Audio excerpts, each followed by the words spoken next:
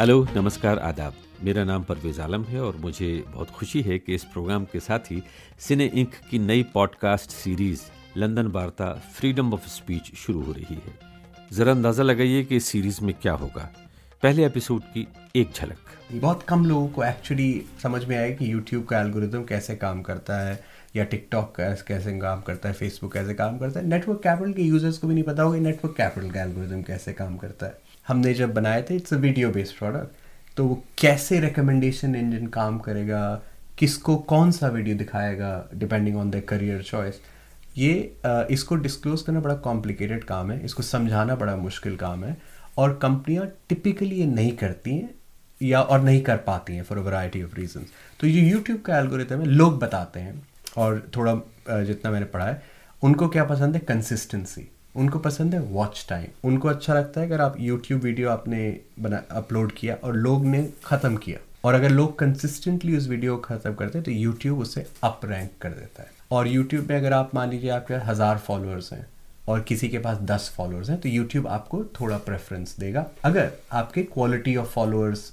you know अच्छे हैं तो लेकिन क्वालिटी का क्या मतलब है? हाँ क्वालिटी कैसे डिफाइन करेंगे ये सब बहुत सब्जेक्टिव मेट्रिक्स होता है। इसीलिए एग्जैक्टली uh, एल्गोरिदम कैसे काम करता है? अगर अगर आपके पास कंप्यूटर साइंस में पीएचडी तब भी आप नहीं बता पाएँगे कि इस कंपनी का एल्गोरिदम कैसे करता आप एक एजुकेटेड गेस्ट ले सकते सारी कंपनियों का अलग अलग हर कंपनी का अलग होता है। जैसे टिकटॉक एक कंपनी है टिकटॉक एक प्रोडक्ट है जो आपके नंबर ऑफ़ फॉलोअर्स को डिसरिगार्ड करता है।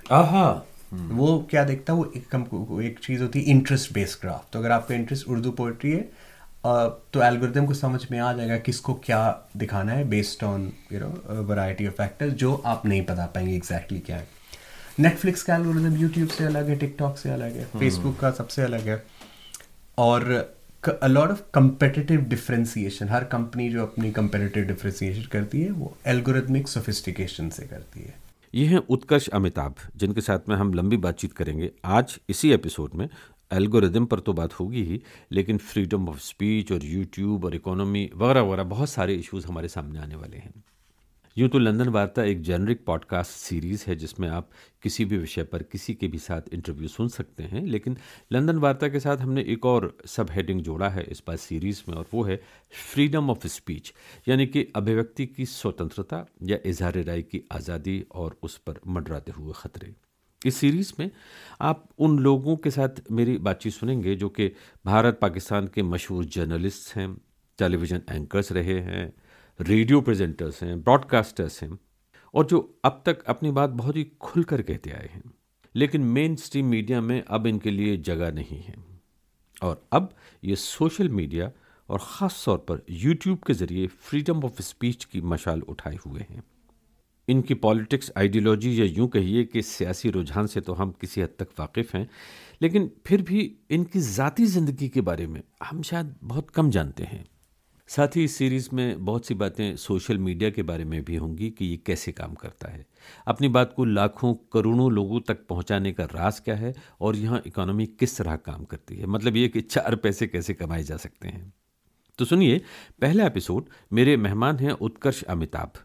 जिन्होंने दिल्ली से इंजीनियरिंग की डिग्री ली, फिर फ्रांस से एमबीए किया ऑक्सफोर्ड यूनिवर्सिटी से मास्टर्स की डिग्री ली और अब ऑक्सफोर्ड यूनिवर्सिटी से ही पीएचडी कर रहे हैं। लेकिन इनका ये परिचय भी काफ़ी नहीं है। इसलिए कि उत्कर्ष अमिताभ आज एक बड़ी कंपनी है नेटवर्क कैपिटल उसके चीफ एग्जीक्यूटिव ऑफिसर हैं और एक और बहुत बड़ी कंपनी है यूनिकॉर्न कंपनी है। जिसकी वैल्यू तकरीबन 1.5 बिलियन यूएस डॉलर्स बताई जाती है, ये उस कंपनी के चीफ मार्केटिंग ऑफिसर भी हैं। मैंने उत्कर्ष को आज के एपिसोड में इसलिए आमंत्रित किया है क्योंकि आप सोशल मीडिया को अंदर बाहर से अच्छी तरह से जानते हैं। माइक्रोसॉफ्ट में तकरीबन सात साल काम कर चुके हैं। लेकिन ये इंट्रोडक्शन भी इनका काफ़ी नहीं है। इसलिए कि उत्कर्ष ने हाल ही में एक किताब लिखी है passion economy and the side hustle revolution जिसकी खासी चर्चा है और इस किताब में एक चैप्टर यूट्यूब के बिज़नेस पर है। आखिरी बात यह कि उत्कर्ष अमिताभ कुछ दिलचस्प बातें एल्गोरिदम के बारे में भी जानते हैं, जो कि सोशल मीडिया की दुनिया का शायद बहुत बड़ा राज समझा जाता है। तो लंदन में सिने इंक के स्टूडियो में उत्कर्ष अमिताभ से मेरा पहला सवाल था कि आपकी किताब का टाइटल ही पैशन इकोनॉमी से शुरू होता है। तो क्यों ना पहले ये जान लें कि पैशन इकोनॉमी है क्या? पैशन इकोनॉमी एक नई तरह की इकोनॉमी है, जिसमें लोग अपने इंट्रेंसिक मोटिवेशन को फॉलो करते हैं और इंटरनेट के टूल्स और टेक्निक्स के द्वारा उसको मोनेटाइज कर सकते हैं। तो आपका इंटरेस्ट कितना भी नीच हो स्टैम्प कलेक्शन हो, या आपको खाना बनाने का बहुत शौक हो, या आप कोडिंग करना चाहते हैं, पहले यू नो नॉर्म था कि आप नाइन टू फाइव काम करेंगे, उसके बाद घर आएँगे टेलीविज़न देखेंगे और मौका लगा तो कुछ अपनी हॉबी पे वर्क करेंगे पोइट्री लिखेंगे बहुत प्यारे दिन थे वो उनको बुरा भला मत कहिएगा। नहीं नहीं वो वो बहुत अच्छे दिन थे स्टेबिलिटी अब क्या आ गया है कि जैसे कोविड के दौरान आपने एक वेव सुना सुना होगा जिसका नाम था ग्रेट रेजिग्नेशन बहुत सारे लोगों ने अपनी नौकरियाँ छोड़ी क्योंकि उनको लग रहा था कि this is my life needs to be more और जिन्होंने नहीं जोड़े उनसे कोविड ने और मालिकान ने नौकरियाँ छोड़वा दी छुड़वा दी। करके। ये भी है बहुत लोगों की जॉब्स गई बहुत लोगों ने जॉब छोड़ी और बड़ा कंफ्यूजिंग टाइम था पूरे मतलब कि दुनिया में वर्क स्पेसिफिकली वर्क को लेके। कुछ लोग बहुत काम करने लगे यू नो बहुत जल्दी बहुत प्रोडक्टिव होना चाहते थे पैंडे में। कुछ लोग नहीं कर पाए वैसा। बट पैशन इकोनॉमी एक नया ट्रेंड है जहाँ पे कल्चर इकोनॉमी और अपॉर्चुनिटी इंटरसेक्ट कर रही है। और मुझे लगता है कि नेक्स्ट वेव ऑफ़ एम्प्लॉयमेंट जो होगा uh, it won't be from one large company or a set of large companies. It will be a series of micro entrepreneurs जो अपनी कंपनियों को आगे ले जाएँगे। पहले अगर आप मान लीजिए एक यूनिकॉर्न बनाना चाहते थे जैसे वन बिलियन डॉलर कंपनी तो आपके पास टिपिकली बहुत एम्प्लॉयज़ होंगे बहुत ऑफ़िस होंगे। अब क्या हो गया है कि आप एक यूनिकॉर्न बना सकते हैं बीस लोग पचास लोग के साथ जो पूरे यू you नो know, जगत में फैले हुए हैं। आप व्हाट्सएप का नाम देखिए व्हाट्सएप जब अक्वायर किया था फेसबुक ने मेरे ख्याल से वहाँ पे 12 से 15 लोग काम करते थे। सिर्फ़? सिर्फ़ 12 से 15 ओपन ए जिसका चैट जीपीटी और अ, बाकी एप्लीकेशंस है वहाँ पे भी just a handful of applications network capital जो कंपनी मैंने शुरू की माइक्रोसॉफ्ट छोड़ने के बाद उसमें भी बहुत the number of employees very few but जो भी लोग काम करते थे मैंने कंपनी खोली इसलिए थी क्योंकि मैं पैशन इकोनॉमी को डेमोक्रेटाइज करना चाहता था। और आपने अपने इंट्रोडक्शन में बताया हमारी फ़र्स्ट राउंड ऑफ़ फंडिंग आई फेसबुक से organically the minimum viable product of network capital अच्छा ये जो फेसबुक है मेटा जी जो जो व्हाट्सएप company को ऑन करता है इंस्टाग्राम को ऑन करता है जी। उसने आपकी कंपनी में फंडिंग की इन्वेस्टमेंट किया? जी। पहला राउंड जो नेटवर्क कैपिटल का फंडिंग का था वो फेसबुक से आया था। क्योंकि हमने अपना जो मिनिमम वायबल प्रोडक्ट बनाया था नेटवर्क कैपिटल का वो फेसबुक के इंफ्रास्ट्रक्चर के ऊपर बनाया था। और कई बार कम्युनिकेशन प्लेटफॉर्म में हमने फेसबुक का इस्तेमाल किया था तो हमने अप्लाई किया कम्युनिटी एक्सेलरेटर प्रोग्राम में। और अ, उनका selection rate less than one percent होता है but thanks to my team हमें फंडिंग मिली। और उसके एक साल बाद एक इंटरनेट इंफ्रास्ट्रक्चर यूनिकॉर्न है जिसने नेटवर्क कैपिटल में स्टेक अक्वायर किया। और as part of the transaction मैं uh, उस कंपनी का चीफ मार्केटिंग ये ऑफिसर कंपनी है फायर डॉट ORG, जी। अच्छा फायर जो है ये बहुत दिलचस्प तरीके से लिखते हैं। जी। फाइव अंग्रेज़ी में जो डिजिट है जी। पाँच। जी। और फिर I R E dot O R G जी। तो ये fire dot O R G क्या चीज़ है? ये एक इंटरनेट इंफ्रास्ट्रक्चर यूनिकॉर्न है। आपने शायद ब्लॉकचेन का नाम सुना होगा, लेकिन ultimately blockchain is about a community democratization of a community और जैसे आप इंटरनेट इंफ्रास्ट्रक्चर के बारे में सोचते हैं वेब 2.0 की दुनिया में, जैसे फेसबुक याहू गूगल ऊबर इस तरह कंपनी वेब 3.0 का जो इंफ्रास्ट्रक्चर होता है वो आता है एथीरियम फायर इस तरह की कंपनी से। और उन्होंने नेटवर्क कैपिटल को अक्वायर किया होगा मेरे ख्याल से अ, बहुत सारे फैक्टर्स होते हैं मर्जर्स एंड एक्विजिशन में बट ब्रांड कम्युनिटी और एजुकेशनल पार्टनरशिप आई थिंक ये तीन काफ़ी इंपॉर्टेंट रीजन कंपनी के बारे में मैं थोड़ा बहुत समझ रहा हूँ लेकिन थोड़ा सा मुझे यहाँ पे ये भी बता दीजिए कि आपकी कंपनी कथी क्या है? फायर या network capital network capital G network capital लोगों को करियर कोचिंग और मेंटरशिप देती है ताकि वो उस दिशा में अपना करियर ले जा पाएँ जिस दिशा में उनका इंट्रेंसिक मोटिवेशन है। जिसमें उनका पैशन है। पैशन है एग्जैक्टली exactly. लेकिन पैशन एक कॉम्प्लिकेटेड वर्ड है। Passion the word comes from suffering तो मुझे मैं इस बुक में आर्ग्यू करता हूँ जनरली अपनी राइटिंग से भी कि पैशन को अपना प्रोफेशन बनाने के लिए थोड़ी सफरिंग लगती है ये बड़ी दिलचस्प बात करें हाँ। इसलिए कि बहुत लोगों से मैंने सुना है और हम्म। मैं ये भी कहूँगा कि पिछले 20 साल में हम्म। मैंने इतना पढ़ा है हम्म। कि और अमेरिका में बड़े बड़े प्रोफेसर लोग इस पर मजमून लिखे हैं उन्होंने किताबें लिखी हैं उसमें ये कहा है कि जिधर दिल चाहता है उधर जाइए जो दिल करता है वो कीजिए जिधर पैशन है वो बचपन से भी हम लोग ये सुनते आ रहे हैं जो समझदार लोग होते हैं। वो ये कहते हैं जो जिसमें पैशन है भाई जो तुम्हें अच्छा लगता है वो करो और हम्म। वरना तो माँ बाप अपने इंडिया में पाकिस्तान वगैरह में खासतौर हम्म। पे कहते हैं इंजीनियर बनो डॉक्टर बनो चाहे तुम चाहो या ना चाहो। तो तो रूल है इंडिया और पाकिस्तान लाइक साउथ एशिया में जनरली हाँ। कि पहले इंजीनियरिंग करो हाँ। फिर दुनिया के बारे में सोचो। और इंजीनियरिंग तो करनी है और पैशन बाद में। पैशन पैशन अपने आप आ जाएगा। लेकिन मैं ये भी जानना चाहता हूँ कि बहुत लोगों ने पैशन को फॉलो किया। हम्म। मैंने देखा। अरे मैंने खुद किया एक जमाने में। और औंधे मुँह चारों हानि चित जी। मतलब ये है कि पैशन को फॉलो करना इतना आसान नहीं है। बहुत मुश्किल होता बहुत कठिन है डगरपन घट की। बिल्कुल बिल्कुल। तो क्या करे मुझे लगता है कि आ, हमारे पास दो चॉइसेस हैं। अगर कोई पैशन को अपने फॉलो करना चाहता है तो उसमें थोड़ा रेजिस्टेंस रेजिलियंस की ज़रूरत पड़ती है। One has to basically be able to suffer for long enough for the passion to fructify to something very simply कि अगर आपको लगता है कि आप अपनी जॉब छोड़ के अगर आप पोइट्री लिखना चाहते हैं, अगर वो आपका पैशन है, आप उसको करियर बना सकते हैं, लेकिन उसे आसान मत समझिएगा। इवन आप अगर अच्छी पोइट्री लिखते हैं स्टिल सिर्फ़ पोइट्री लिखना अकेले और सक्सेस एक्सपेक्ट करना छः महीने में या सात महीने में I think it's it's a pretty dangerous thing patience persistence and willingness to suffer for long enough ये क्रिटिकल है पैशन इकोनॉमी के लिए इस किताब में और मैं हार्वर्ड बिज़नेस रिव्यू में भी जो एसेज लिखता हूँ पैशन इकोनॉमी के बारे में तो जो पहला ऐसे जो काफ़ी पॉपुलर हो गया था उसमें मैंने अपनी कहानी बताई थी कि मैंने माइक्रोसॉफ्ट कब और क्यों छोड़ा hmm. और किस स्थिति में छोड़ा मेरी फाइनेंशियल हालत कैसी थी मेरा करियर कहाँ था और कैसे मैंने कैलकुलेटेड रिस्क लिया? रिस्क लिया? मैं ज़रा सा ये बात करूँगा आपसे माइक्रोसॉफ्ट के बारे में ज़रूर कि वहाँ पे आपने किन के साथ में काम किया। लेकिन जब आप ये बात कर रहे थे पैशन इकोनॉमी और ख़ास तौर पे कि हम्म। बड़ी मेहनत करनी पड़ेगी परजिवियरेंस की ज़रूरत है। हम्म। मुझे एक शेर याद आ गया उर्दू का बड़ा मशहूर। हम्म। ये इश्क नहीं आसान। बस इतना समझ लीजिए। एक आग का दरिया है और डूब के जाना है। आ, बिल्कुल। You summed up my book आपने इस uh, किताब का बहुत अच्छा समरी इस इस शेर में दिया ठीक है बहुत उम्दा। मुझे ये बताइए कि हम्म। वहाँ क्या कर रहे थे आप माइक्रोसॉफ्ट में? और किन के साथ डायरेक्टली काम कर रहे थे? जी मैं माइक्रोसॉफ्ट में सात साल साढ़े छः साल आ, मैंने काम किया था।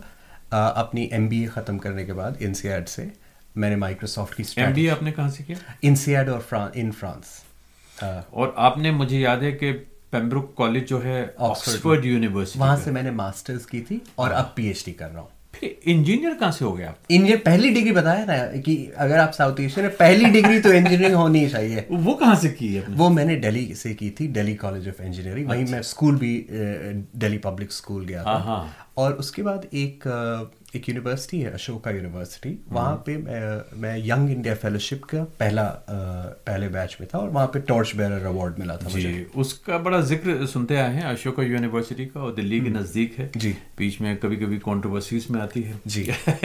लेकिन ये कि उसके बारे में कहा जाता है कि हम्म। उसको कुछ इन्वेस्टर्स जो एक ज़माने में बड़े कामयाब रहे खासतौर पर आईटी इंडस्ट्री में जी। आई से निकले हुए वो सबने पैसा जमा किया उस यूनिवर्सिटी को कायम किया। जी। और उसको कोशिश ये है कि वो एक जो इंटरनेशनल लेवल की यूनिवर्सिटी हो सकती है हम्म। उस लेवल पे लेके आना। खैर जी तो वहाँ पे आपने काम किया। मैं वापस आ जाता हूँ। माइक्रोसॉफ्ट जी। तो अगर आप मेरे करियर पे जस्ट लाइक जूम आउट करेंगे मैंने हमेशा काम और पढ़ाई और लिखाई साथ में की है। आई मीन थोड़ा फैमिली से फ़र्क पड़ता है लेकिन ऑक्सफोर्ड में मैं पहले फेलो था फिर मास्टर्स किया और अब पीएचडी कर रहा हूँ।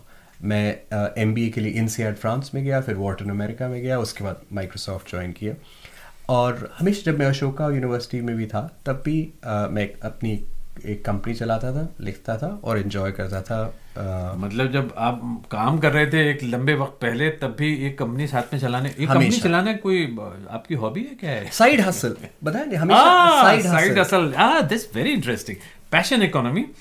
Passion and the side hustle revolution तो पैशन इकोनॉमी तो आपने बता दिया साइड हसल पे मैं बड़ा कंफ्यूज था। अब आ गया मुझे लगता है साइड हसल सबको एक कुछ करना चाहिए अपने मेन जॉब अलग से। अलावा। अच्छा ये मैंने किसी एक अमेरिकन जो बड़े मालदार हम्म। लोग हैं उनकी भी एक कभी बात सुनी थी कि वो एक जॉब काफ़ी नहीं है। एक खाली इन्वेस्टमेंट काफ़ी नहीं है। हम्म। जी। दो तीन जगह पे छोटे छोटे पॉट्स बना के उसमें कुछ कीजिए। ये कुछ उ- उस जैसी बात है। ये परवेज जी ये थोड़ा सा कॉम्प्लिकेटेड कॉन्सेप्ट है और इसे मिसअंडरस्टैंड करना काफ़ी यू नो काफ़ी आसान है। तो रूल है मुझे एक बार माइक्रोसॉफ्ट में मैं अ, मैंने काफ़ी प्रोजेक्ट्स में सीईओ सत्या नडेला को सपोर्ट किया था। उनसे मैंने अपने बारे में करियर एडवाइस मांगा था एक बार। तो उन्होंने बोला था कि वॉट वर्कड फॉर हिम उनको जो भी जॉब कभी भी दिया गया माइक्रोसॉफ्ट में ही या कहीं और ही took it as the most important job तो मैंने इसे अपना रूल बनाया हुआ है कि मैं साइड हसल हो या मेन प्रोजेक्ट मैं जो करता हूँ उसको बहुत सीरियसली करता हूँ। तो अगर मेरा साइड हसल है, मान लीजिए इंटरव्यू देना। इंटरव्यू देना है या फिर अ, या फिर पोइट्री लिखना या फिर किताबें लिखना I don't take it casually it requires seriousness और मैं किताब में भी यही आर्ग्यू करता हूँ जो मुझे सत्या ने बताया था कि जो करो या तो मत करो और कर रहे हो तो give it your everything right जैसे कि अगर आप में देखिए मुझे ऑक्सफर्ड से इस स्थिति में पीएचडी करने की कोई प्रैक्टिकल यूटिलिटी ज़रूरत नहीं है मेरे पास ऑलरेडी काफ़ी डिग्रीज है। लेकिन शौक है। मुझे अपना मुझे सोशल नेटवर्क्स में काफ़ी इंटरेस्ट है नेटवर्क कैपिटल इस किताब में। तो मैं थियोरी एडवांस करना चाहता हूँ इस फ़ील्ड में। इससे थोड़ी सफरिंग होगी क्योंकि अ, आसान नहीं होता है कि दो कंपनियों को लीड करना और साथ में पीएचडी करना। बट uh, मुझे करना है और I am inspired by that और इस दौरान पे जो सफरिंग आएगी टाइम मैनेजमेंट uh, और फेमिलियल रिस्पॉन्सिबिलिटीज को करने उसको आई विलिंगली एम्ब्रेस तो passion economy in side hustle revolution are not for for people who just are looking for a bed of roses because it's not that एक बात मैं समझ गया आपने क्योंकि अभी माइक्रोसॉफ्ट का ज़िक्र किया और आपने ये भी कहा कि आप सत्यनारायण सत्य नाडेला जो कि एक तरह से सबसे बड़े आदमी हैं जी। अम, बहुत रिमार्केबल आदमी पोइट्री बहुत पसंद करते हैं। कभी लंदन आएँगे तो आप उन्हें इनवाइट करिएगा इस पॉडकास्ट अरे वाह वंडरफुल मज़ा आ जाएगा। ज़रूर उनके साथ में बात होगी। आज इस वक्त साउथ एशिया में खासतौर पर और साउथ एशिया में भी इंडिया में भारत में हिंदुस्तान में एक इनकलाब आया है सोशल मीडिया का। जी। यानी कि जो सबसे ज़्यादा नंबर्स हैं वो इंडिया से आते हैं। जी। कि मिसाल के तौर पे यूट्यूब पता चला तकरीबन आधी के आसपास पॉपुलेशन जो है वो कहीं ना कहीं किसी न किसी शक्ल में यूट्यूब को एक्सेस करती हो देखती। जी। हम्म। और दुनिया में सबसे ज़्यादा नंबर यूट्यूब देखने वालों का इंडिया में है। इसी तरह से क्रिएट करने वालों का और इसी तरह से फेसबुक इंस्टाग्राम वगैरह वगैरह ये सारी तादाद बढ़ती चली जा रही है। तो व्हाट्सएप वगैरह। और इंडिया में एक बड़ी तादाद में लोग अब इस तरफ़ अपना रोज़गार भी देख रहे हैं। तो थोड़ा बता सकते हैं कि वो इकोनॉमी किस तरह से काम करती है? जी। देखिए यूट्यूब पैशन इकोनॉमी के लिए अभी तक सबसे वायबल एसेट है। कोई भी कहीं पे भी बैठे हुए एक न्यूज़ चैनल खोल सकता है पॉडकास्ट चला सकता है। लोग स्ट्रीम करते हैं अपने गेमिंग करियर्स लोग ओपिनियंस बनाते हैं। YouTube is an engine of creativity YouTube दुनिया की सबसे बड़ी यूनिवर्सिटी है। ऑक्सफोर्ड भी बड़ी यूनिवर्सिटी है लेकिन यूट्यूब ऑक्सफोर्ड से बहुत बड़ा है। मैं समझता था कि व्हाट्सएप यूनिवर्सिटी सबसे बड़ी व्हाट्सएप लेकिन देखिए डिफरेंस है व्हाट्सएप यूनिवर्सिटी में और यूट्यूब यूनिवर्सिटी में। क्या है कि जितना मैंने देखा है इसको मैंने रिसर्च नहीं किया है। कई प्लेटफॉर्म्स पे मिस इन्फॉर्मेशन स्प्रेड होना बहुत आसान है। मुझे ऐसा लगता है यूट्यूब पे इतना आसान नहीं है मिस इन्फॉर्मेशन स्प्रेड होना। बहुत सारे लोग जिनको मैंने इस किताब के लिए इंटरव्यू किया था और जो मैं देखता हूँ वो यूज़ करते हैं यूट्यूब को या तो कुछ सीखने के लिए। अभी मेरी मम्मी मेरे साथ लंदन में है तो वो मुझे हेल्प कर देती हैं खाने में। कई बार जब सीखना पड़ता है तो कई बार यूट्यूब से सीख लेता है कि बटर चिकन कैसे बनेगा राइट अरे आप ये तो आप बटर चिकन की बात कर रहे हैं। मैं आइकिया से एक फ्रेम लेके आया। और अब उसको टांगने का बड़ा मसला है इसलिए कि उसमें कहीं कोई इंस्ट्रक्शन नहीं थी इत्तेफाक से आमतौर पर में होती हैं चीज़ें। बिल्कुल। अब समझ में नहीं आया कि किसको फ़ोन करूँ किससे बात करूँ अचानक यूट्यूब का ध्यान आ गया तो मैंने फ़ौरन देखा तो बचला एक नहीं दस उसमें एक एक मिनट दो दो मिनट की वीडियो लगे हुए तो उसमें था कि यूँ तार लीजिए पाँच इंच का यूँ काटिए उसको हाँ। गोल करिए करिए। बहरहाल वो तो ए से लेकर जेड तक पचास चीज़ों हमें वहाँ मिल जाती हैं। जी। तो वो उसका इकोनॉमी से कैसे ताल्लुक मैं मैं समझाता हूँ। और आप आप मेरी माँ डॉक्टर नामिका को जानते हैं उनकी तेईस अरे आपने आप मैं सारे टॉपिक छोड़ दूँगा। हाँ। ये आपकी जो मम्मी है माता जी हैं उनके बारे में बात करता रहूँगा। और आपने इतने आसानी से कह दिया उनका नाम। इसलिए कि उनके नाम के बारे में कम से कम हमें पंद्रह मिनट बात करनी नहीं, ज़रूर, इसलिए छोड़ देते। हैं लेकिन ये कि जो लोग ये प्रोग्राम देख रहे हैं या जो लोग पॉडकास्ट पर सिर्फ़ इसका ऑडियो सुन रहे हैं उनके लिए मैं कहूँगा कि उत्कर्ष अमिताभ की जो माँ है उनका नाम है डॉक्टर अनामिका। डॉक्टर अनामिका हिंदी की बहुत बड़ी साहित्यकार हैं। और जो भी इस वक्त भारत में हिंदी के कवि हैं उनमें बहुत बड़े कवियों में उनका शुमार होता है। उनका ज़िक्र हम थोड़ा बाद में कर लेंगे। ज़रूर। तो मैं मैं बस उनको समझा रहा था उनको लेके क्योंकि मैं उनको भी देखता हूँ। मेरी जो फैमिली वो माइक्रो यूनाइटेड नेशन जैसी लगती है। मैं मेरे अ, मेरी सिस्टर इन लॉ हांगकांग से हैं मेरी बेटर हाफ़ लेबनीज फ्रेंच हैं। तो अभी क्या हुआ कि मेरी माँ और मेरे पार्टनर की माँ दोनों घर में थे। और गीरा की माँ इंग्लिश नहीं बोलती हैं। ये आपकी वाइफ का नाम है। हाँ मेरी मेरी माँ फ्रेंच नहीं बोलती हैं। और वो दोनों यूट्यूब से फिगर आउट कर रहे थे क्या बोलें क्योंकि अभी क्या हुआ कि आप अ, कुछ दौरान वो दोनों अकेले घर में थे and they were trying to figure out how to speak with on YouTube so YouTube एक लर्निंग इंजन है। यूट्यूब एक अर्निंग इंजन भी है। तो जिन लोगों ने भी ये वीडियोस बनाया होगा ना कि फ्रेंच को इंग्लिश में ट्रांसलेट करें या आईकिया फर्नीचर बनाए या बटर चिकन बनाए या वेब थ्री ब्लॉक चेन समझाए कुछ भी उनको पैसे भी मिलते हैं यूट्यूब से। तो ये जो वीडियोस आपने देखे अगर बहुत लोग देखते हैं तो उसको जिसने वीडियो बनाया उसको एक चंक ऑफ़ द पैसे मिलते हैं। और वो इसलिए होते हैं कि क्योंकि बीच बीच में आप एड्स देखते हैं जी। उससे पैसे मिलते हैं। जी। मैं यहाँ पे एक बात क्लैरिफाई करना चाहूँगा खासतौर पर जो लोग देख रहे हैं और जो लोग सुन रहे हैं कि ये प्रोग्राम यूट्यूब ने स्पॉन्सर नहीं किया पहली बात। दूसरी बात ये कि किसी भी तरह का कॉन्फ्लिक्ट नहीं है मेरा। बिल्कुल, यूट्यूब का बार बार ज़िक्र करना। बल्कि मेरा दिल तो ये करता है कि यूट्यूब की जितने मैं तारीफें कहीं कर रहा हूँ उसमें उतनी ही उसको क्रिटिसाइज भी करूँ। उसमें बड़ी खामियाबी मुझे नज़र हम डिस्कस करते हैं? खैर, कामयाबी करते वो हम बाद में हाँ, बात कर लेंगे। लेकिन मैं चाहता हूँ कि आप थोड़ा सा इस प्रोग्राम का लेवल उठा देते हैं। ये तो आपने बताया कि जैसे कि यूट्यूब कैसे इकोनॉमी जनरेट कर थोड़ा बड़े लेवल पे आ जाते हैं। इसलिए कि मैं समझता हूँ कि एक बड़ी तादाद में लोग इस प्रोग्राम को देखने वाले सुनने वाले ऐसे भी हैं जो ग्रेजुएशन कर चुके हैं जी। यूट्यूब में। अब यहाँ पे जो है उत्कर्ष अमिताभ की नॉलेज का वो फ़ायदा उठाना चाहते हैं। ओके यानी कि ये बड़े लेवल पर मैं ये कह रहा हूँ कि जो जो यूट्यूब पर आ रहे हैं लोग ट्रेंड लोग हैं वीडियो बनाना जानते हैं वो क्या पॉसिबिलिटीज देखते हैं? जी मैं बता दें यूट्यूब पे बहुत सारे मिलियनर्स हैं। और मुझे लगता है कि आने वाले सालों में इस पॉसिबल कि एक यूनिकॉर्न बनेगा यूट्यूब को ही यूज़ करते हुए। जैसे कि इंडिया में भी एक एक एक कंपनी है जो कोचिंग करती है फिजिक्स में मैथ में इन सब में। वो पॉपुलर कैसे हुई? लार्जली यूट्यूब वीडियोस बनाते हुए। और इस किताब में मैंने ज़िक्र किया एक डॉक्टर हैं आसपास ही रहते हैं अली अब्दाल नाम है उनका कैम्ब्रिज में है। और उन्होंने मेडिसिन पढ़ाई की। लेकिन उनको लगा कि मेडिसिन अच्छा है, लेकिन वो यूट्यूब पे पढ़ाना चाहते हैं। तो उन्होंने एक्चुअली आज वो मेडिसिन नहीं पढ़ते, वो डॉक्टर नहीं, उन्होंने छोड़ दिया है प्रैक्टिस करना। और हम डिस्कस कर सकते हैं एथिकल है कि नहीं, ये that's not what it's about but आज अली फुल टाइम यूट्यूबर है और टीचर है। प्रोडक्टिविटी के बारे में लिखते हैं, पढ़ाते हैं। और वो अपनी इनकम के बारे में काफ़ी ओपन है। तो पब्लिक डेटा है। तो उन्होंने to the best of my knowledge 2023 में पाँच मिलियन डॉलर से ज़्यादा कमाए होंगे यूट्यूब से। वाह। और अगर आप उनके वीडियोस देखें वो बहुत अच्छे से शॉर्ट होते हैं प्रोडक्टिविटी के बारे में क्रिएटिविटी के बारे में इंटरनेट इकोनॉमी के बारे में बताते हैं।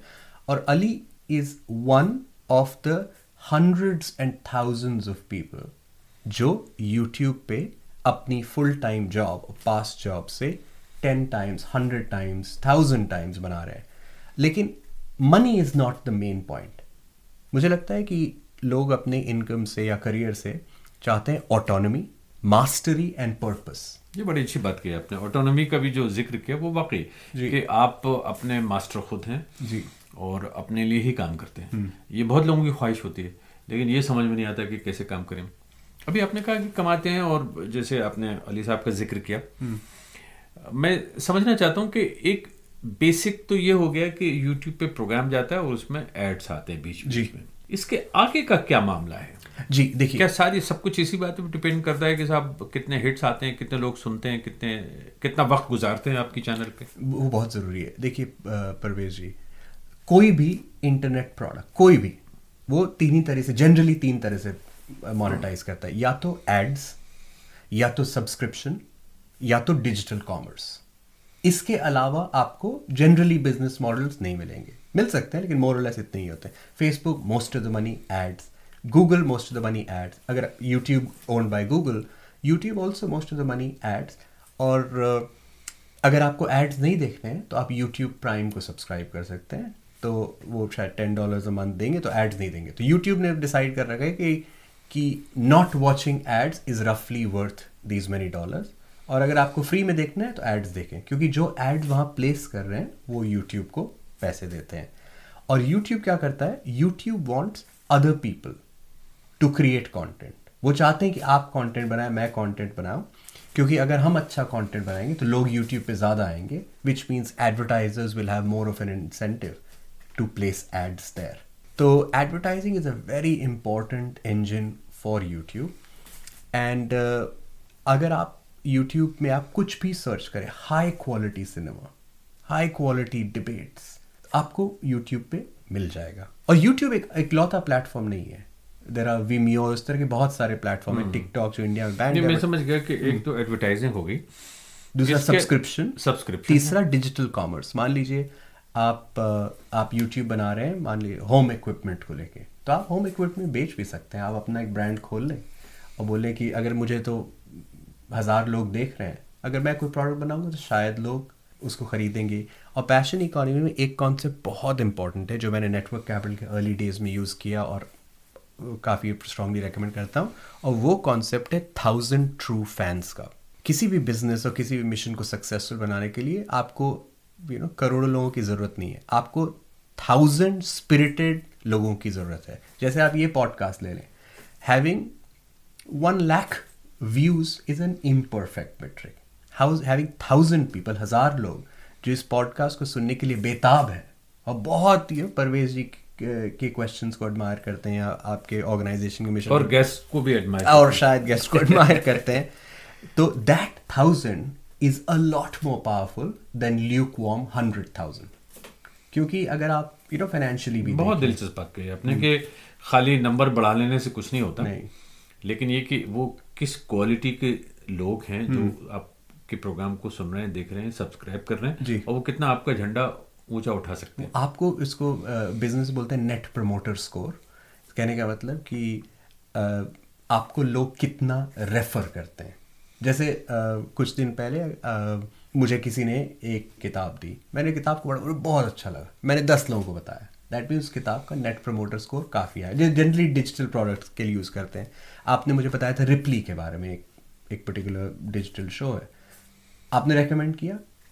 मैंने उसको देखा। तो इस ये डिजिटल प्रोडक्ट्स में ये नेट प्रमोटर स्कोर बहुत इंपॉर्टेंट मेट्रिक होता है।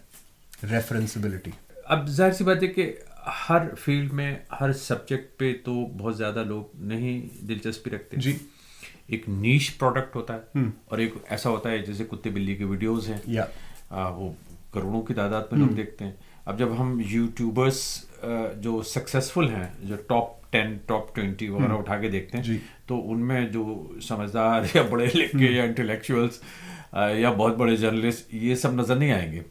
उसमें कोई आएगा जो बच्चों का कुछ नर्सरी चला रहा है जी। है ना कुछ वीडियो बना रहा है। इस तरह की बेसिक चीज़ें करने वाले जो। एक ज़्यादा से ज़्यादा लोगों तक पहुँचते हैं। उनका क्या है जो नीच प्रोडक्ट लेके बैठे हुए हैं? जी।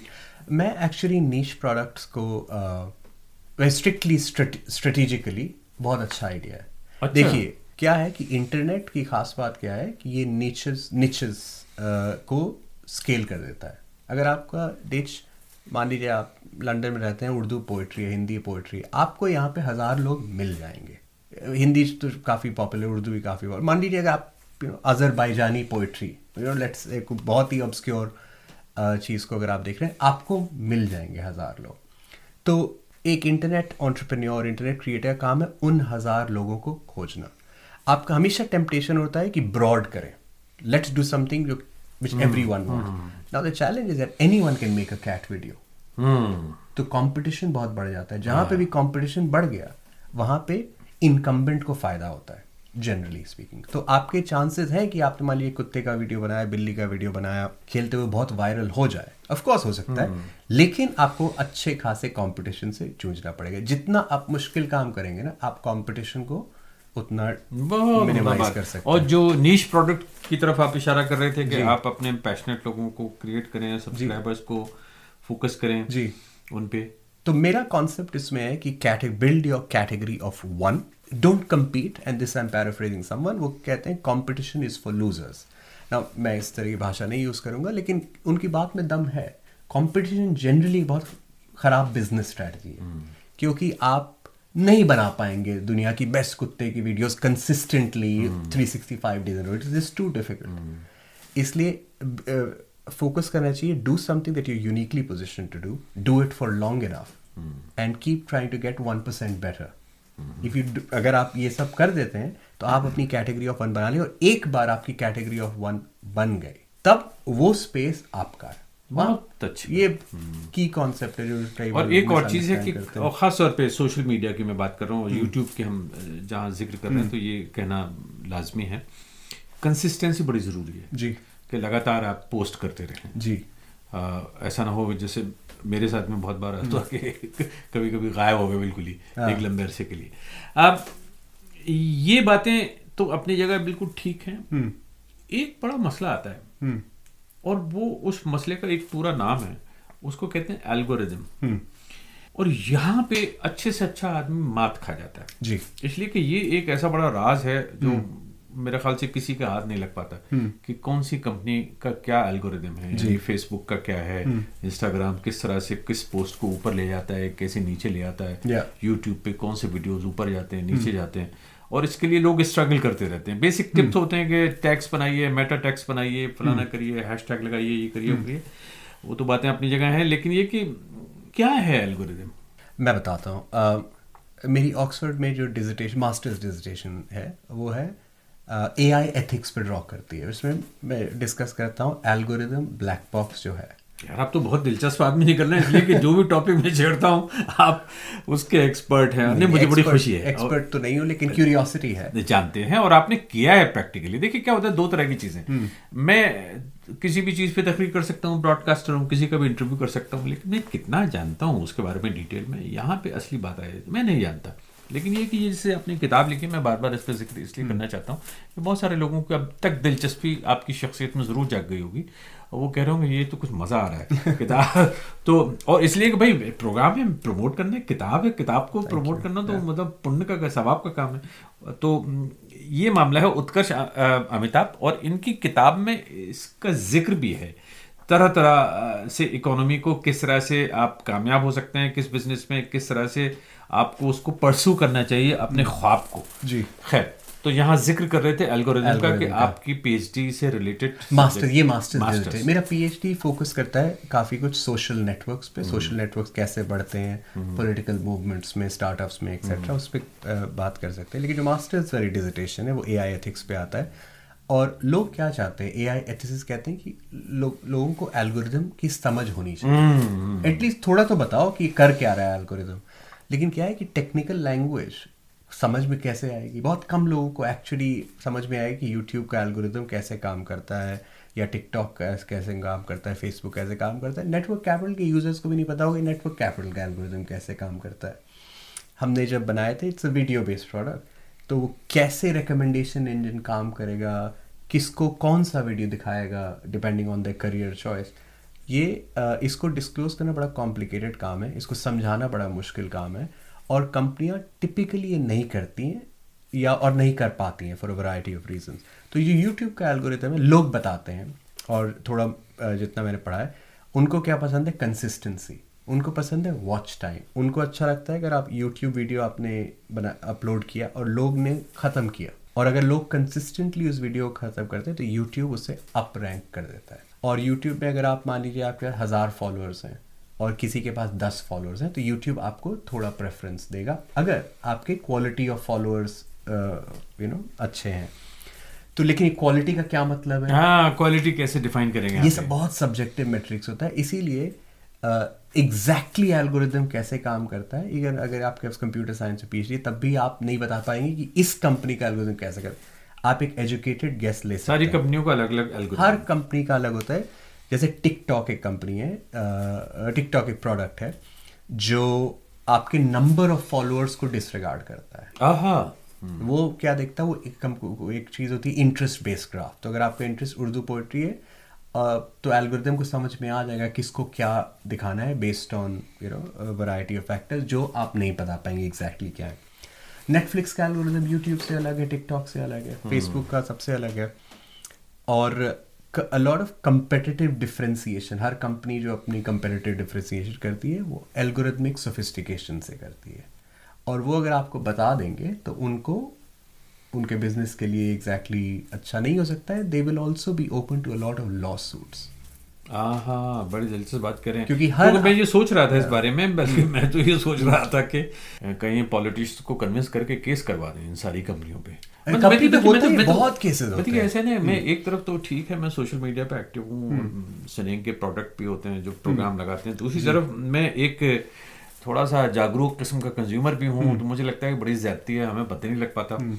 तो कभी ऐसा होता है कि कांग्रेशनल कमेटी हो रही है अमेरिका में हम्म। और वो बुलाते हैं आइए साहब जरा ये बताइए आपका क्या है ये कैसे आप करते हैं? ये ऐसा हो सकता है इंडिया में फ़र्स्ट कीजिए गवर्नमेंट तो बड़ी जल्दी खबर ले लेती है सोशल मीडिया की इंडिया में। जी। वो बुलाएँ कहें कि ये अपना जरा हमें समझाइए एल्गोरिज्म क्या है।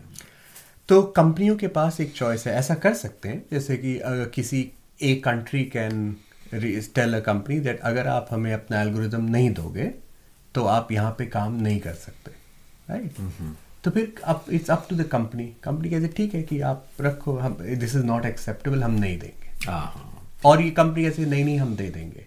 लेकिन अगर कंपनी स्टार्ट वायलेटिंग से customer privacy then customers won't trust the company ये बड़ी अच्छी बात करें। अब मैं मैं जो हूँ मैं कस्टमर भी बन गया इसलिए कि मैं प्राइवेसी भी चाहता हूँ। बिल्कुल। और मैं नहीं चाहता कि आप मेरी प्रेफरेंसेस जो है वो किसी को भी बताएँ बल्कि किसी और कंपनी से भी शेयर करें। Hmm. आ, थोड़ा सा ज़रा सा और बता दीजिए कि ये जो बात कर रहे थे हम यूट्यूब की। जी। तो आपने कुछ इशारा किया था कि कंसिस्टेंसी काम hmm. करती है और tags hashtags hashtags ये सब हैश टैग के बारे में मैंने रिसर्च नहीं देखा है। लेकिन consistency watch time completion rates इस तरह के मैट्रिक्स बहुत इंपॉर्टेंट होते हैं। और कुछ डिपेंड करता है आप किस कंट्री में भी है। जैसे इंडिया का जीडीपी पर कैपिटा लोअर होगा लेट से अमेरिका में। तो अगर आप, आपके पास अमेरिका में हज़ार फॉलोअर्स हैं और इंडिया में हज़ार फॉलोअर्स हैं तो इट इज़ क्वाइट पॉसिबल कि जो आपकी जो यूट्यूब इनकम अमेरिका में होगी, वो ज़्यादा होगी। क्योंकि आपके मोस्ट ऑफ़ द यूज़र्स जो हैं, अगर वो अमेरिकन हैं तो पे आउट्स उस तरह होते हैं। This is my best case estimate अच्छा आपने ये भी कहा था कि ये मुख्तलिफ़ होता है हर कंपनी का एल्गोरिदम। जी। तो अब जैसे फेसबुक पे आ जाते हैं।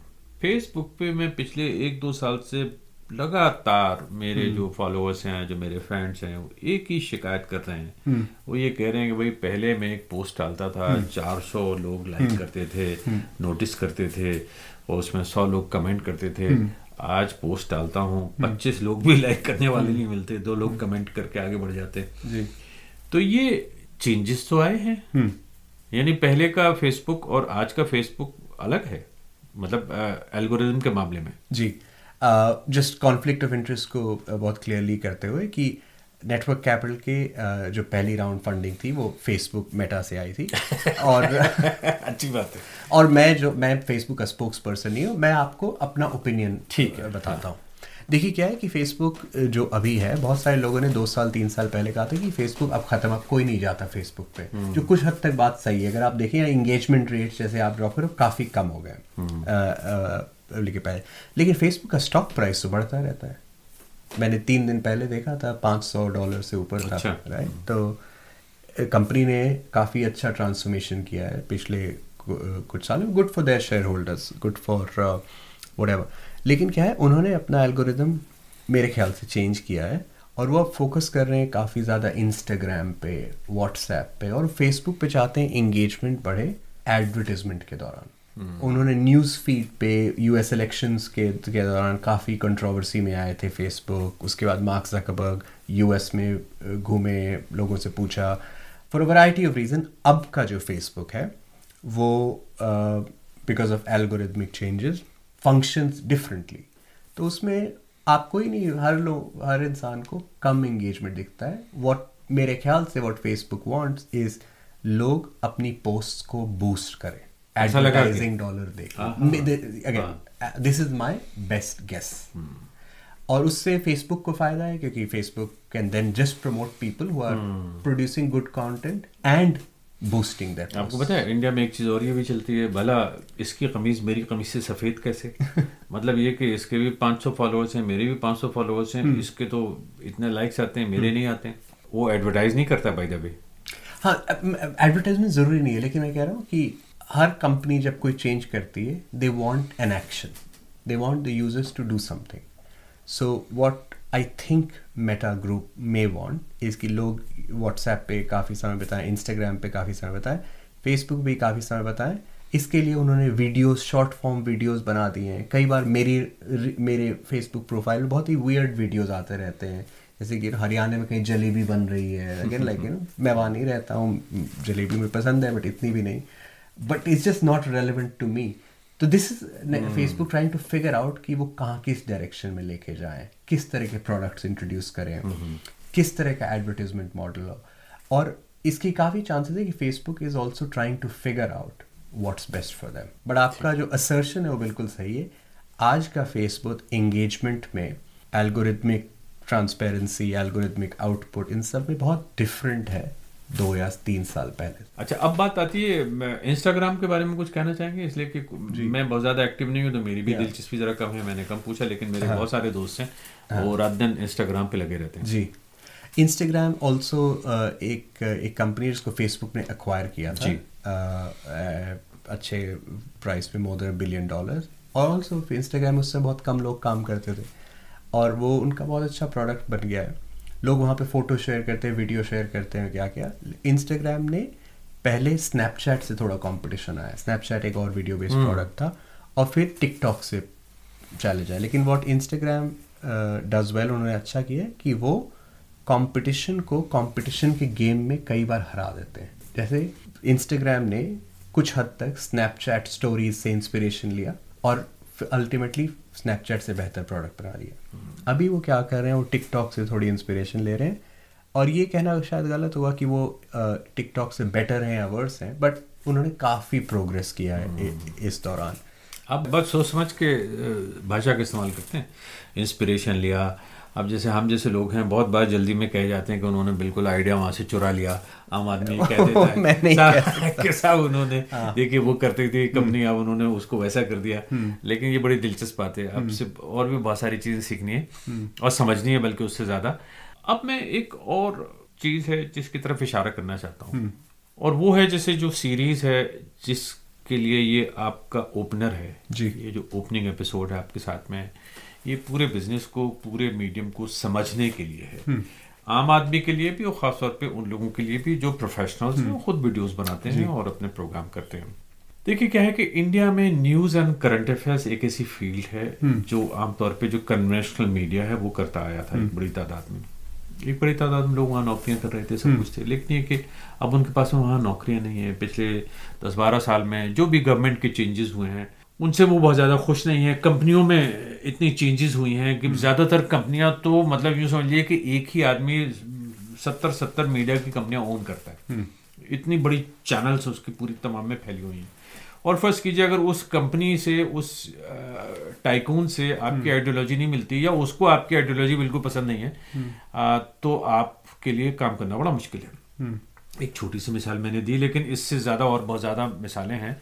कि जो डिसेंट है जो प्रोटेस्ट है जो अलग बात कहना चाहते हैं जो आप ज़्यादा सवाल करना चाहते हैं सवाल गवर्नमेंट से करना चाहते हैं पॉलिटिशियन से करना चाहते हैं कोई भी हो चाहे वो गवर्नमेंट के हों या मिनिस्टर्स हों या अपोजिशन के हों। लेकिन उनके लिए जो स्पेस है मीडिया में कन्वेंशनल मीडिया में जिसको एलॉन मस्क लेगेसी मीडिया कहते हैं। जी जी। आ, उसमें कम से कम होती चली गई है। पिछले दस बारह साल में खास तौर पे नोटिस किया गया। तो अब वो एक बड़ी तादाद में जो लोग हैं वहाँ से जो निकल रहे हैं टैलेंट है उनमें। अच्छे लोग हैं बड़े पढ़े लिखे लोग हैं इंटेलेक्चुअल्स भी हैं एक्सपीरियंस भी हैं। वो यूट्यूब और भी जो दूसरे ऑल्टरनेटिव उधर आ रहे हैं। क्या है कि वहाँ पे अब ये है कि वो जो यानी जो स्टैब्लिशमेंट है जी। वो गवर्नमेंट हो सकती है किसी भी मुल्क की पाकिस्तान की इंडिया की यहाँ वो भी एक्टिव हो रही है उस मीडियम पे। उसको अचानक लगता है कि भाई ये ऐसा नहीं कि डिसेंट वालों के लिए आप ये प्लेटफॉर्म छोड़ दी हम भी वो भी पीछे पीछे आ रहे हैं। और वो पीछे पीछे आ रहे हैं और साथ ही साथ क्या है कि नए नए लॉज बन रहे हैं आईटी रिलेटेड कि बात वहीं पे आ जाती है कि मैं तो सब कुछ कर सकूँ करता हूँ। यानी लेगेसी मीडिया में भी कन्वेंशनल मीडिया में भी मैं क्योंकि मेरी गवर्नमेंट है मैं क्योंकि यहाँ पे पावरफुल वो किसी भी मुल्क में हो सकता है। लेकिन ये कि जो सामने वाला है उसको कुछ करने का मौका ना मिले। तो ये चीज़ें हम देख रहे हैं सोशल मीडिया पे भी किसी हद तक हो रही हैं कि वो जो लॉज बन रहे हैं वो खासे ड्रेकोनियन है। कि जब चाहे आप लोगों की ट्वीट्स बंद करा देते हैं लोगों के वीडियोस बंद करा देते हैं इस पर आपकी नज़र है कुछ? देखिए तो सेंसरशिप और freedom of speech freedom of expression की बात है। मैं आपको बताऊँ कि चाइना में एक uh, कहते हैं फिफ्टी सेंट आर्मी लोग बताते हैं कि दिस इज़ ये गवर्नमेंट स्पॉन्सर्ड से ऑर्गेनाइजेशन है जो कई बार डिसेंट को सब्साइड करने में विश्वास रखती है। ये एक तरह का हो गया। दूसरा हो गया गवर्नमेंट अगर सर्वेल करे कि अगर आप मान लीजिए कुछ ऐसा कंटेंट दिखें जो किसी को ना पसंद आए तो they can deprioritize you, they can ban you, they can report you to the company. Company भी कर सकती है। Company can take an algorithmic decision कि जो जो लोग लेट से इस देश का नाम लिख रहे हैं, एक ट्वीट में या फिर पोस्ट में या उसको डिप्रायोरिटाइज कर दो या ब्लैन कर दो तो इसको रिस्ट्रिक्ट कैसे कर सकते हैं फ्रीडम ऑफ़ स्पीच एक तो आप टेक्नोलॉजी से, दूसरा गवर्नमेंट से, और तीसरा you know community societal pressure बना के। और ये तो हमेशा ही रहा है। कि यू नो ये जो टेंशन है फ्रीडम ऑफ़ स्पीच और कैसे कब होनी चाहिए absolute relative this is always been a debate ये किसको बिल्कुल पसंद नहीं आता इस तरह के रिस्ट्रिक्शन वो होते क्रिप्टो करेंसी वाले लोग। बिटकॉइन बनाया था, वो बेसिकली इसी फ्रस्ट्रेशन को बनाया था। उन्होंने बोला कि big government bad big finance bad we want to be able to communit free communicate freely transact freely और हम आपस में फिगर आउट कर सकते हैं हमें बीच में गवर्नमेंट की या किसी और बिग टेक की ज़रूरत नहीं है। इज़ आइडियल सिचुएशन अच्छा है बुरा है मतलब depending on freedom of speech की बात है सेम uh, चीज़ है। बहुत सारे block chain enabled communication platform जहाँ पे आप कुछ भी बोल सकते हैं कैसे बोल सकते हैं नो रिप्रोकशन आपको nobody can block you nobody can ban you लेकिन ये हमें डिसाइड करना होगा। Do we want a society in which anyone can say what they want in a reasonable and non violent way और हमें थोड़े checks और बैलेंस चाहिए। अगर चेक्स और बैलेंस चाहिए तो कौन डिसाइड करे? गवर्नमेंट टेक्नोलॉजी या हम सब? आइडियल आंसर है हम सब। लेकिन इतनी मुझे बिज़नेस स्ट्रेटजी और टेक्नोलॉजी के समय जब हम बोलते हैं हम सब, उसको प्रैक्टिकली इम्प्लीमेंट करना बहुत मुश्किल होता है। कुछ चीज़ें सुनने में बेहतर लगती हैं करने से ज़्यादा। तो मुझे क्या लगता है कि मिनिमम वायबल कंसेंसस की ज़रूरत है। टेक्नोलॉजी को कैसे पीपल फ्रेंडली बनाना है or you know to make it uh, compliant with regulatory needs minimum viable agreement जब तक नहीं आएगा तब तक ये डिबेट्स चलती रहेंगी। और क्योंकि अभी लैंडस्केप आर्बिट्ररी है तो कुछ भी हो जाता है। कभी गवर्नमेंट बैन कर देगी कभी टेक्नोलॉजी कंपनी किसी को बैन कर देगी कभी लोग टेक्नोलॉजी कंपनी को बैन कर देंगे या फिर हटा देंगे या वो कहते हैं डी प्लेटफॉर्म कर देंगे किसी को।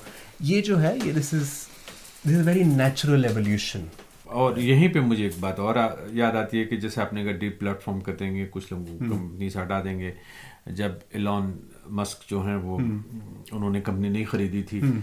तो उससे पहले जो प्रेसिडेंट होते थे अमेरिका के जी। डोनाल्ड ट्रंप हम्म। उनको हटा दिया गया था। जी। उन्होंने गुस्से में आके अपना एक नया पैरेलल नेटवर्क बना लिया। पैरेलल नेटवर्क बना दिया। ट्रूथ और सब वो बहुत अभी पिछले दिनों खबर है कि वो अच्छा जा रहा है। मतलब पैसे के हिसाब से। हाँ। दाम वाम उसके बढ़ रहे हैं। हम्म।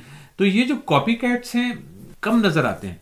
जो भी नज़र आते हैं कमज़ोर हैं। यानी हम्म। मिसाल के तौर पे कि फेसबुक की टक्कर पे एक और कोई चीज़ निकल के आए हाँ। इंस्टाग्राम की टक्कर पे कोई और चीज़ आए या ट्विटर हम्म। है। उसके सामने बहुत लोग खड़े होने की कोशिश कर रहे हैं। तो ये क्या मामला है? क्या कोई प्लेटफॉर्म आ नहीं पा रहा है? कोई इनोवेशन नहीं हो पा रहा है? या ये जो जायंट्स बन गए हैं ये किसी को उठने नहीं देते? बिज़नेस में और टेक्नोलॉजी में नेटवर्क इफेक्ट्स को ओवरकम करना बहुत मुश्किल काम होता है। फेसबुक के पास आज नेटवर्क इफेक्ट्स हैं ट्विटर के पास आज नेटवर्क इफेक्ट्स हैं। बहुत सारे लोग by default variety of reason platform पे जाते हैं अमेजोन से शॉप करते हैं। अगर आप बोले कि मैं एक फेसबुक जैसा कुछ बना रहा हूँ, आप कर सकते हैं। कई बार कॉपी कैट सक्सीड करते हैं बट जनरली बहुत मुश्किल होता है।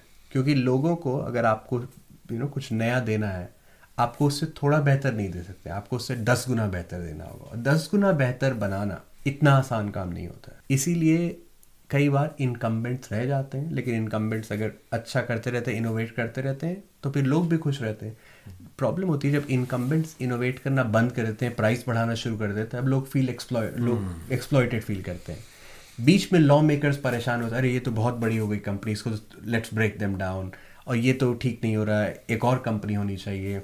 इसलिए वो कंपनियों पे केस करते रहते हैं कि नहीं ये गलत है ये एक्विजिशन हम ब्लॉक करेंगे ये तुमने यू नो मोनोपोलिस्टिक बिहेवियर दिखाया तो ये जो डांस ऑफ़ द मार्केट है इट्स क्वाइट नॉर्मल और अगर आप देखें कि जिस सोशल नेटवर्क की आप बात कर रहे हैं a copycat Facebook truth can in theory work evidence doesn't support it well आने वाले पाँच साल हम्म। मैं तो दस साल भी नहीं कर रहा इसलिए कितनी हम्म। तेज़ी से तब्दीलियाँ होती हैं हम्म। परिवर्तन आते हैं क्या भविष्य देखते हैं आप? ये जो सोशल मीडिया है जो सीन है जी। ये कुछ ऐसे ही रहेगा या कुछ उसमें भारी इनकलाब आएगा तब्दीली आएगी? कि आ, आपको नज़र आता है ऐसी कोई सुबुगाहट है कहीं? ये तो हम हम दो लोग हैं ब्रेन करते हैं थोड़ा। मैं अपनी जस्ट पिछले क्वेश्चन कंक्लूड कर देता हूँ। मैं ऐसा नहीं कह रहा हूँ कि कॉपी कैट सक्सीड नहीं कर सकता है। मैं बस कह रहा हूँ कॉपी कैट बहुत मुश्किल होता है सक्सीड करना। कई बार number two number three company succeed कर जाती। ऊबर पहली कैब कंपनी नहीं थी जिसने बहुत सक्सेसफुल किया। नेटफ्लिक्स पहली स्ट्रीमिंग कंपनी नहीं थी। माइक्रोसॉफ्ट uh, पहला प्लेटफॉर्म कंपनी नहीं थी। लाइक like, लोग आए लेकिन सक्सीड करने के लिए थोड़े बैरियर्स होते हैं जिसको ओवरकम करना आता है। सोशल मीडिया लॉन्ग टर्म कैसा रहेगा? मुझे लगता है कि लोग सोशल मीडिया पे अपने करियर्स बनाने की कोशिश करेंगे और सीरियसली पैशन इकोनॉमी काफ़ी मेन स्ट्रीम और डिफ़ॉल्ट हो जाएगा और एविडेंस इस दिशा में बता रहा है। अमेरिका में for example thirty three percent plus लोग फ्री हैं।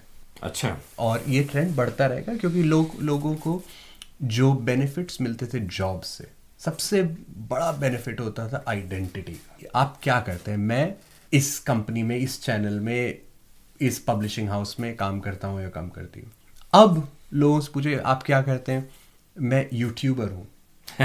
और ये अच्छा है बुरा है लेकिन ये आसान नहीं है। हम्म। बच्चों का पूछ रहे कि तुम अब क्या बनना चाहते हो? पहले लोग बोलते हैं एस्ट्रोनॉट आप बोलते हैं यूट्यूबर आपको लगता है ये तो बड़ा सोसाइटी कहाँ जा रही है?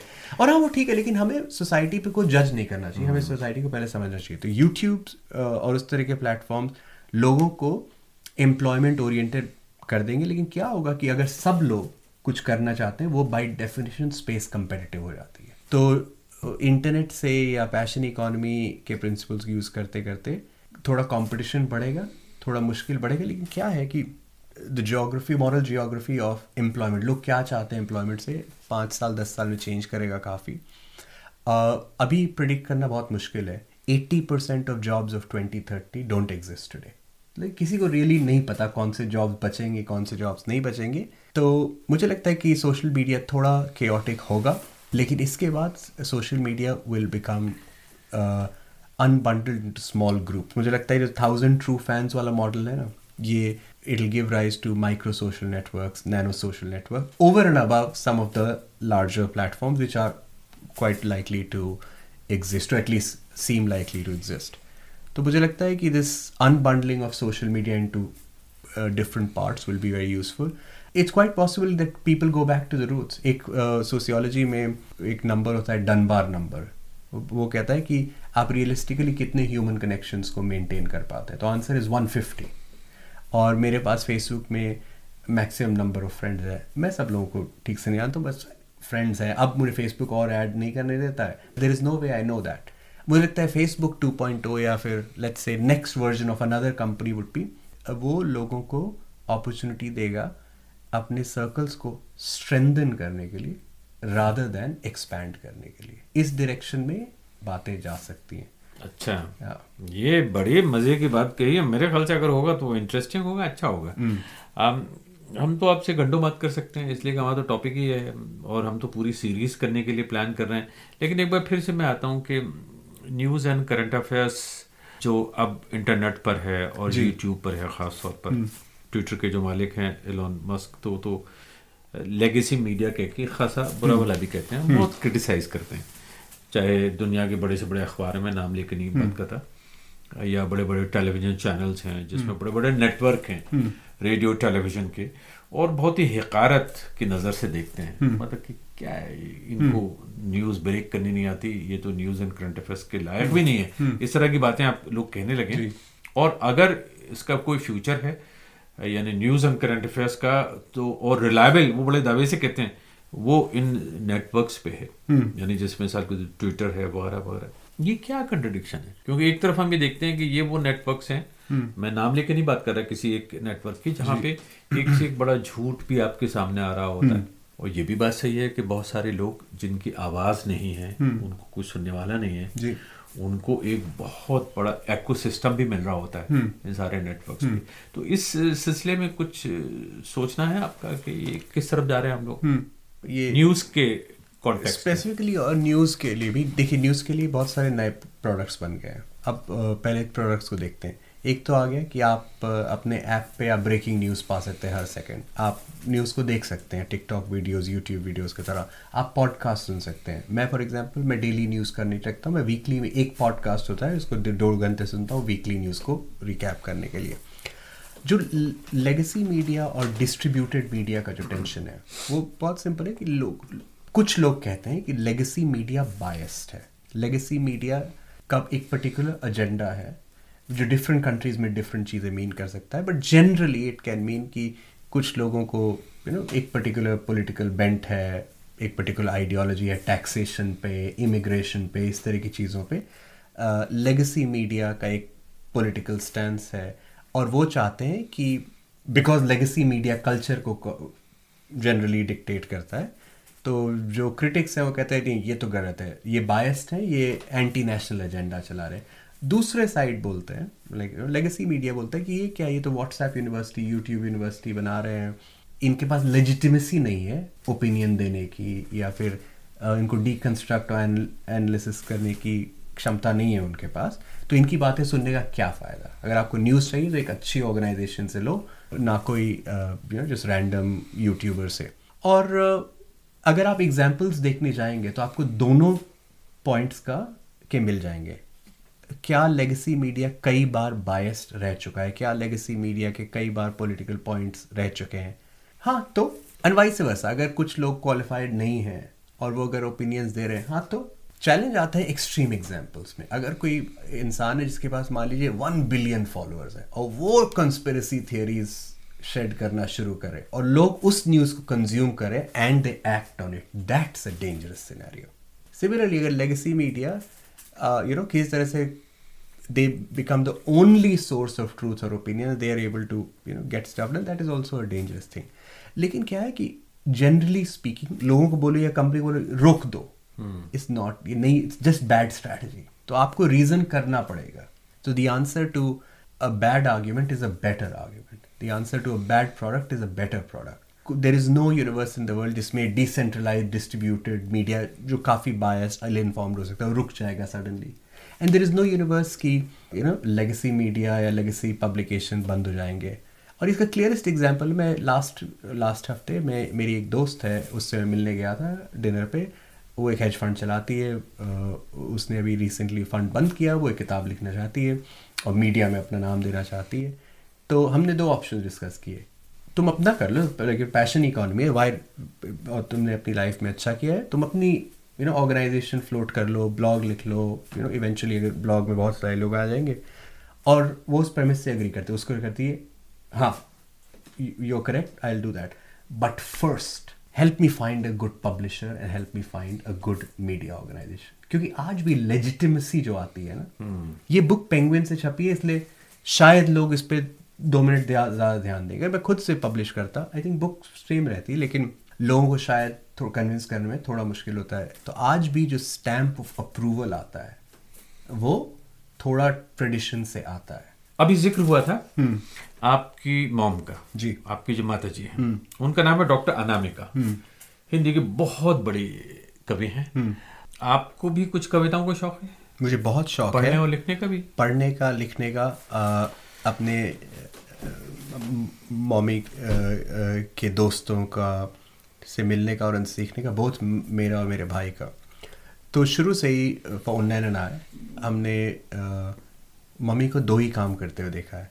या तो अ, पढ़ते हुए या लिखते हुए। know, मैं कई बार अ, जब मैं अ, इंडिया में रहता था किसी भी टाइम पे घर आऊँ अगर सुबह तीन चार होंगे वो पढ़ रही होंगी। और कई बार अगर मैं लेट से आया घर पे तो यू नो वही कर रही होंगी। तो आदत बन जाती है तो पढ़ना, लिखना इज़ द नॉर्म और उनकी ट्रेनिंग ऑब्वियसली लिटरेचर में है और मेरी और मेरे भाई की ट्रेनिंग बिज़नेस में but what makes my brother and I truly come alive are the arts तो music in his case and writing and uh, acting in my case. अच्छा एक्टिंग इसका इंट्रोडक्शन मैंने नहीं आपका कराया है कि एक्टिंग एक्टिंग माउस ट्रैप में काम किया था मैंने यहाँ पे आई वाज एगाथा क्रिस्टी की। ये जो यहाँ वेस्ट एंड में जी। शो हो रहा है? नहीं नहीं, अभी नहीं मतलब कुछ साल पहले। बहुत पहले हाँ हाँ। रियली इसमें? और वो पता नहीं कितने साल से हो रहा है? वो is the world's longest running play हाँ। माउस ट्रैप में? माउस ट्रैप में। और ये हमारा ये रिच इमेजिनेशन जो मेरे भाई है उसमें बेसिकली है क्योंकि mama used to and still keeps telling us stories उन्होंने अभी तो मैं uh, मेरे और नैन दोनों की we are maybe adult now but आदत हो जाती है इसलिए घर पे जो भी आ रहा है मोस्टली लिटरेचर से इंक्लाइंड होगा जिससे हम मिल रहे हैं। तो आप सुनते हैं काफ़ी। हाँ। लैंग्वेज बन जाती है। आप सीखते हैं। और जब वर्क एथिक देखते हैं यू you नो know, किसी के सामने तो आपकी you mimic your your your parents और योर पेरेंट्स फ्रेंड्स और पीपल अराउंड यू तो देखा कि ये वर्क एथिक है। सो so जनरली बहुत अच्छा फ्यूजन हो गया बिज़नेस टेक्नोलॉजी एंड पोइट्री और मुझे लगता है पोइट्री की बहुत सख्त ज़रूरत है। अरे क्या बात कही? देखिए मैं तो बिना पोइट्री के फिर रह भी नहीं सकता। आ, वो हिंदी की कविता हो या उर्दू की शायरी हो आमतौर पे। अभी आपने ज़िक्र किया था माउस ट्रैप में आपने एक्टिंग की थी वो भी जो वेस्ट एंड में शो चल रहा था मतलब दर्जनों साल से और अभी तक चल रहा है। क्या रोल किया था उसमें आपने? मैं मेजर मेटकाफ था। अरे वाह! मैं एक चीज़ क्लैरिफाई करना चाहता हूँ। जो मैंने जो शोज़ किए स्टडी होता है उसमें एक अंडर स्टडी होता है अ, नहीं मैं मैं मैंने ये शोज़ इंडिया में परफॉर्म किए थे ज़्यादातर। मोस्ट ऑफ़ माय अच्छा, shows were in India Habitat Centre LTG auditorium लेकिन ग्रुप यहाँ से गया था? यहाँ से कुछ एक्टर्स यहाँ से थे। Ah, okay. जो मैंने जो प्ले में जिसमें मेरा मेजर बैटका वाला रोल इंडिया में। इसके अलावा जो मैंने मूवीज़ की हैं उसमें भी मूवीज़ भी की हैं? छोटी छोटी छोटी छोटी तो बम पे बम गिरा रहे हैं मतलब नहीं नहीं। नई नई चीज़ें I wish. I wish I were a star. But नहीं ऐसा कुछ नहीं है। मैंने छोटे छोटे रोल्स किए हैं मूवीज़ में और बड़े रोल्स किए हैं प्लेज में। अच्छा कविता की बात हो रही थी। हम्म। आपको अपनी मॉम की कोई कविता याद है? बिल्कुल याद है और अभी वो सोएस में तेईस को उनका से, सेशन है तो मैंने ही मैंने और मॉम ने अ, साथ बैठ के डिसाइड किया कि कैसे कैसे सोएस के स्टूडेंट्स को क्या पसंद आएगा। तो उनकी अ, जो पोएम है मैं उनके हर बर्थडे पे अपने दोस्तों को सुनाता हूँ। मैं रिसेंटली एक एक जगह मैं एक बार फिर से रिकैप कर देता हूँ। जो। कविता हम सुनने वाले हैं वो है डॉक्टर अनामिका की कविता। जी। अनामिका। जी। अच्छा अनामिका के साथ में मैं ये भी कहूँगा कि उनको तो अभी हाल ही में साहित्य एकेडमी का पुरस्कार मिला है अवार्ड मिला है और वो हिंदी पोइट्री के लिए मिला है। जी। और मेरे ख्याल से इससे पहले कभी हिंदी पोइट्री में किसी महिला को first woman to to get it कभी साहित्य अकेडमी का अवार्ड नहीं मिला तो ये मिला है तो वंडरफुल सुनाइए। Mom has written many many poems but this one specifically speaks a lot to me and मुझे याद है कि जब I had met my now wife then girlfriend I actually you made her read it together when she came to India to see तो ये English translation में पढ़ देता हूँ। Knowing knowing someone is like buying another mirror for yourself, and another set of earphones, good ones, which let you hear distinctly. After all, what does but Koina Berry say as parting words to the stunned silence of the fields sold away? If you listen carefully, you can even hear the sad laughter of old prostitutes, like swabs of cotton from some unknown mythic epoch entering your space. You can hear Rag Jayvanti on the Ektara of an ancient madman in the oldest asylum of the world. You can hear the whooping cough of the prisoner playing his chains to the rhythm of Jan Jan Jan, playing on the rhythms of the crimes done and undone. And then you can hear the double entendre of all the established rules and the soft thuds of languages almost dead, each world difficult but strong enough to pull you into the fold of the mysterious Naglok, the world of serpents, deep inside the waters, sunk within waters, without a straw to hold on to, slowly, slowly turned into serpent jewels. Knowing someone is a passionate leap first outside your being and then deep within it. It sends out ripples on the surface of waters over the pond for a long time. Knowing someone is to become pond, river, ocean, and rain. Knowing is a departure. Clouds rain once, trees three times And after every rain, when you shake their branches, knowing someone is like gradually remembering all things forgotten, sunk deep in memory. Knowing someone is becoming trembling leaves catching raindrops. So this poem, ये कविता मेरे लिए बहुत special है क्योंकि जब भी मेरी खास दोस्ती बनी है किसी को भी जब ढंग से जानता हूँ मैं इस पोइट्री को I go back to it और वंडरफुल अच्छा दिलचस्प बात ये भी है कि आपने अभी इसी इंटरव्यू के दौरान पहले ज़िक्र किया था। आपकी वाइफ जो हैं पत्नी वो लेबनीज हैं। जी। हम्म, और लेबनानी हैं और उनका नाम है गरीदा जी। आ, मुझे उनसे मिलने का इत्तेफाक हुआ है। आप भी जानते हैं। जी। और मैंने उनमें भी एक ये शौक देखा पोइट्री का। जी। उन्होंने हमें सुनाई महमूद दरवेश की नज्म। जो अरबी के फ़लस्तनी बड़े गज़ब के शायर हुए हैं। जी। और वो उन्होंने इतने प्यार से सुनाई थी कि वो मुझे पोइम जो है महमूद दरवेश की अभी तक अच्छी तरह से याद है। तो ये देखिए गज़ब की चीज़ हो रही है जो मैं देख रहा हूँ कि डॉक्टर अनामिका के बेटे हैं उत्कर्ष उनकी कविता याद रखते हैं सुनाते हैं।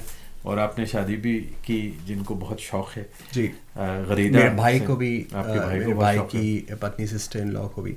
और ये परवेज जी बहुत इम्पोर्टेंट था हमारे लिए क्योंकि मामा मेरी late grandmother grandfather आप आप हमेशा से एकेडमिक फैमिली से आए पोइट्री राइटिंग बहुत इंटेग्रल चीज़ें हैं। तो जस्ट बिकॉज़ मैं और मेरा भाई प्राइमरली और like our respective spouses are uh, a little more in the field of business. It doesn't mean that we'll ever forget our roots. जब मम्मी को साहित्य अकेडमी अवार्ड मिला था तो मैंने एक अनामिका स्कॉलरशिप इनिशिएट की कि भाई I want to play a role in helping poetry become the norm rather than you know it being something that people do और हिंदी उर्दू तमाम तरह की इंडिक भाषाएँ उनको मैं जितने भी सपोर्ट कर सकता हूँ उसको मैं करूँगा और इस तरह की जो ये मैंने और मेरे भाई ने स्कॉलरशिप चलाई थी और ये करते रहेंगे। और जब हम लोगों ने डिसाइड किया you know to find our respective partners तो ये बहुत ज़रूरी था कि कि हम यू you नो know, हमारी फैमिलीज़ रियली मर्ज करें फ्यूज़ करें इंटेलेक्चुअली भी। और uh, इस पर हमने काफ़ी अच्छे से बातचीत की थी। और जब मैंने देखा कि गीता को पोइट्री राइटिंग लिटरेचर काफ़ी पसंद है तब मुझे और भी विश्वास हुआ कि you know she will enjoy also becoming a little Indian in the process बहुत मज़ा आया है उत्कर्ष आपसे बातें करके और आपसे बहुत सीखने को मिला। मैं एक बात यहाँ पे ये भी जानना चाह रहा था आप इतनी कम उम्र में एक कंपनी के सीईओ भी हैं चीफ मार्केटिंग ऑफिसर भी हैं जो यूनिकॉर्न कंपनी है 1.5 मिलियन यूएस डॉलर्स से ज़्यादा की वैल्यू है उस कंपनी में और उस कंपनी की आपकी कंपनी में स्टेक है ये मैं समझा। एक बात और जो मैं भूल गया था जिसका मैंने ज़िक्र नहीं किया द यूनिवर्सिटी ऑफ़ ऑक्सफर्ड उसमें आप शेबनिंग Fellow हैं। फेलो हैं। और साथ में दिलचस्प बात जो मुझे अचानक याद आई कि जो वर्ल्ड इकोनॉमिक फोरम है जी। उसके आप ग्लोबल शेपर हूँ। शेपर हैं। In fact World Economic Forum के फाउंडर ने इस किताब का फॉरवर्ड लिखा था। क्या नाम उनका? Klaus Schwab. तो मैं ये कह रहा हूँ कि ये कामयाबियाँ आप की सुनकर तबीयत खुश हो गई। और मेरी ओर से बहुत बहुत शुभकामनाएँ। Wishing you so much all the best No, thank you for your generosity with uh, with your time and your questions.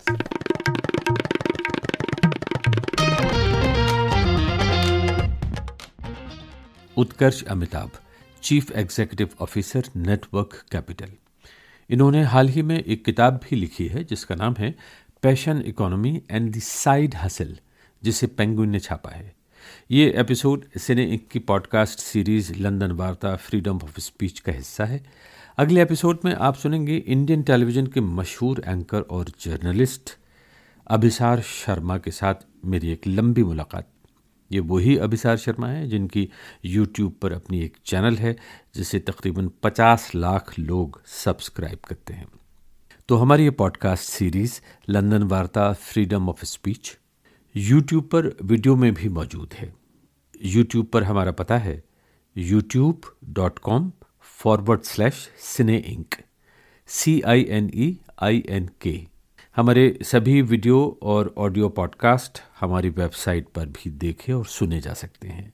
www.cineinc.com हो सकता है आप हमसे कुछ कहना चाहते हैं तो फिर मौका अच्छा है, हमारी ईमेल भी नोट कर लीजिए। Post at Cine Ink dot com Parvez Alam को इजाज़त दीजिए। नमस्कार खुदा